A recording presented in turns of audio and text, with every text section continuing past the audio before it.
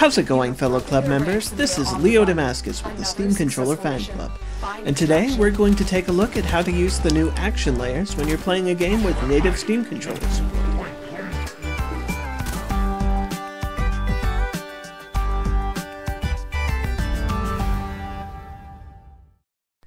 To start with, so that we have a jumping off point to look at, let's take a look at my configuration for Warframe.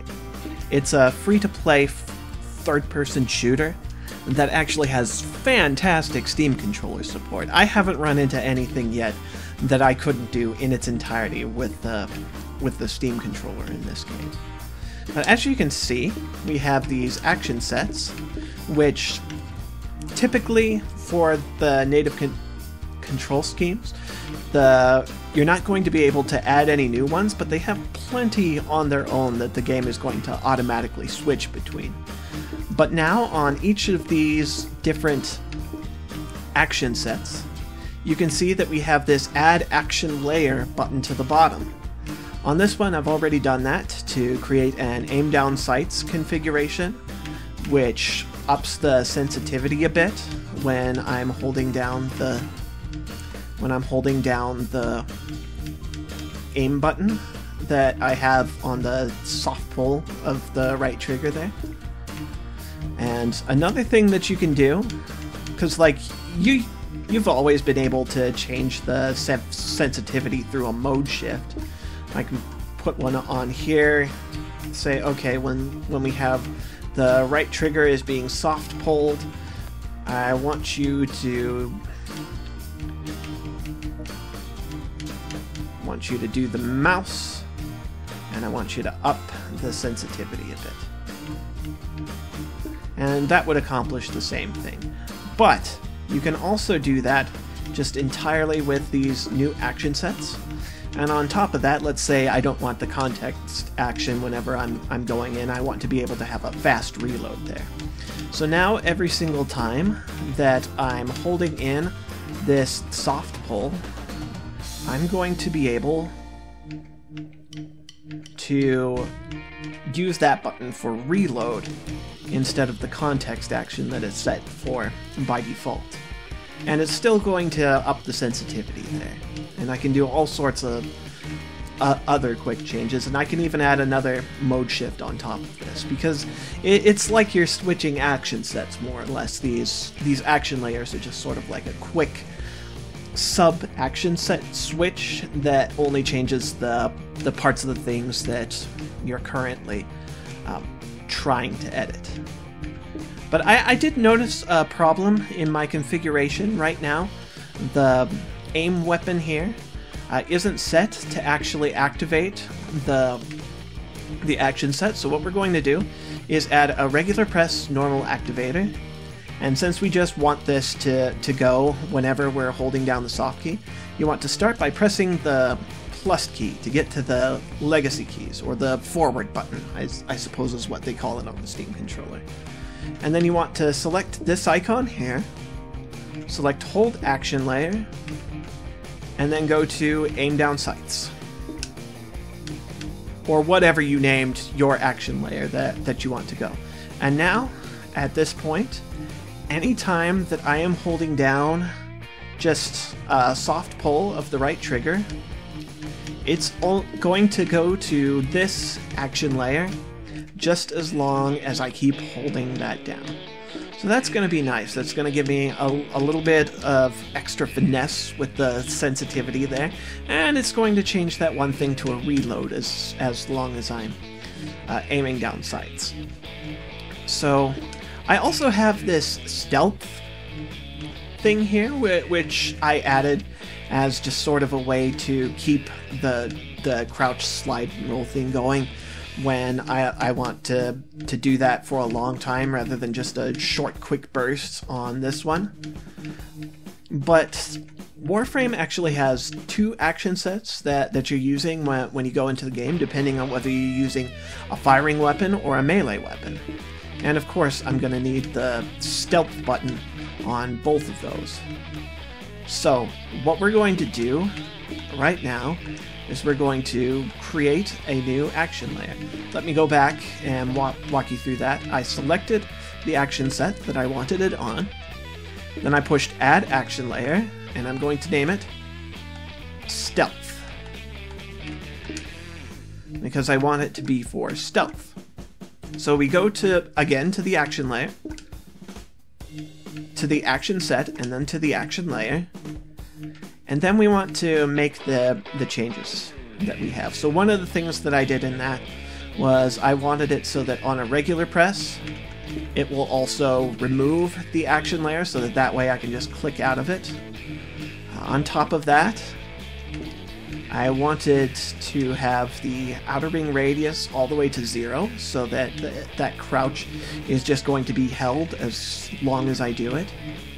And then on the outer ring binding, we want it set to crouch, slide, and roll. And let's see. I think that I also added it so that um, so that when I click here, I I wanted it to immediately just go back to the regular way of doing things. So I'm gonna go ahead and add that now. Do it at a start press. Uh, watch my watch my episode on activators in, in order to find out exactly why if you don't know. But what we're going to, to be doing here is go back to the legacy keys and then remove action layer stealth. And that's going to make it so that as soon as I click my jump button, that that's going to remove the action layer. And just to be on the safe side, I also recommend if you have a mode shift like I do on that one, that you also match the mode shift here because the the action layers are also going to inherit the, the mode shifts and that could overwrite the changes that you make in the action layer. So I had my mode shift on right pad click and I just want it to do a single thing so I go to single button and then on trackpad click again remove action layer stealth and we got to make sure that that's on start press. So there we go. That should take care of that. One more thing, uh, just just for maintenance here. I also wanted to be able to exit it by using that melee button that I had there. So we're going to remove action layer stealth on the start press again. And that should more or less cover it. So at this point, if we were to click on the left button, it's going to take us into that crouch mode.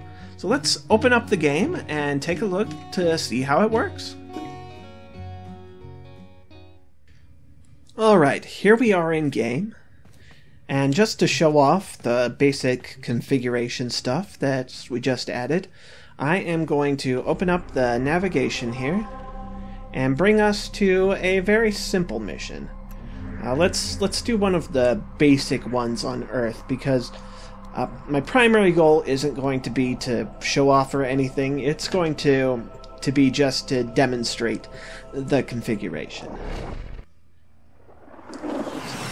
So now that we are flying in, fairly soon we're going to be able to see some combat here says it wants me to get three kills within 10 seconds.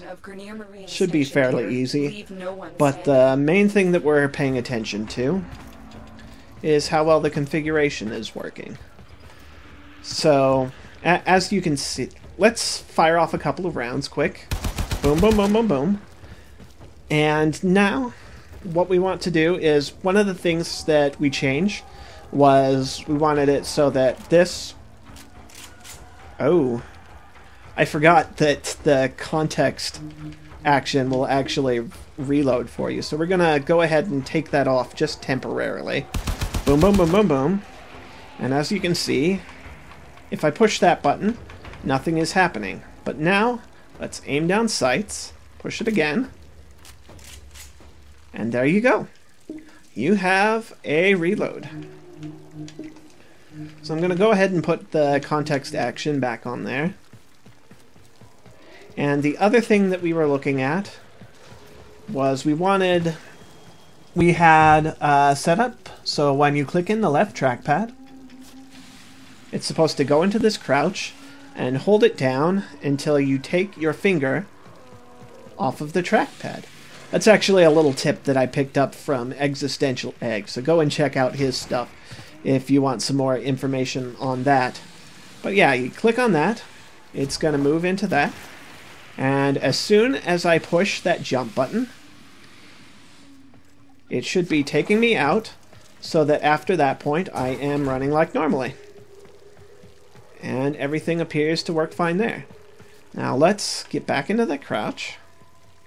The other thing that I wanted it to do was allow me to do an attack that also brings me out of that. And that's working just fine.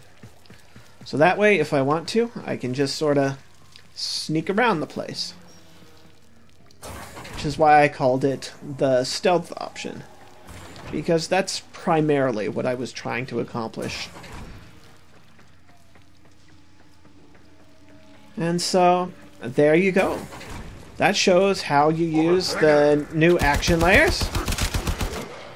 And you can see that I have a good gyro setting for the aim down sights. It's about the same as a normal uh, a normal gun movement, even though usually it slows it down a bit. So I, I like that. The the gyro is pretty accurate on its own. It doesn't need that much slowdown.